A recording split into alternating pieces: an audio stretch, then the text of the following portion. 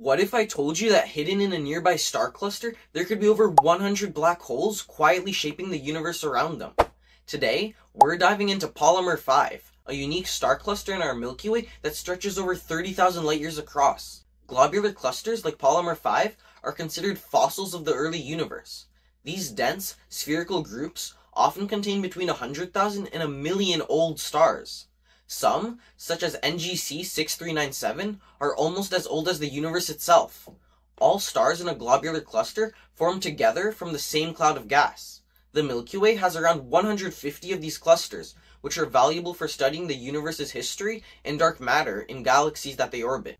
But there's another kind of star group drawing more attention tidal streams. These long rivers of stars stretch across the sky.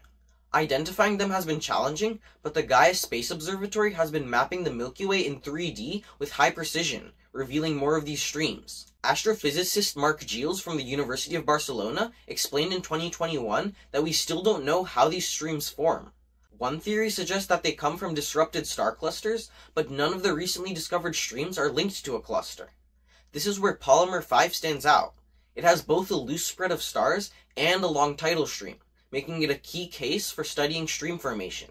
To investigate, Gieles and his team ran detailed N-body simulations to recreate the orbits and evolution of the cluster's stars. Knowing that black holes might exist in globular clusters and can cause stars to be ejected, they included black holes in some of their simulations. Their results suggested that a population of stellar mass black holes inside Palomar 5 could explain its current structure, Interactions with these black holes likely slingshotted stars out of the cluster, creating the tidal stream.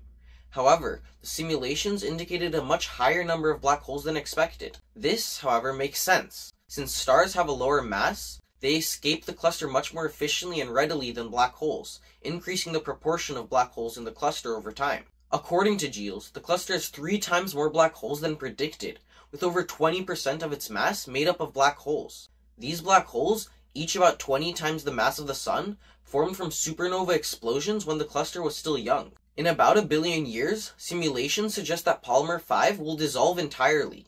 By then, it will consist of only black holes orbiting the center of the Milky Way. This means Palomar 5 might not be unique.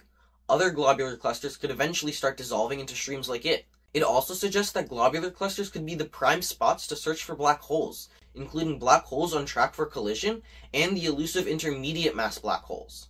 By studying these clusters and their ejected stars, we can uncover how many black holes are hidden within them and how they interact with their surroundings.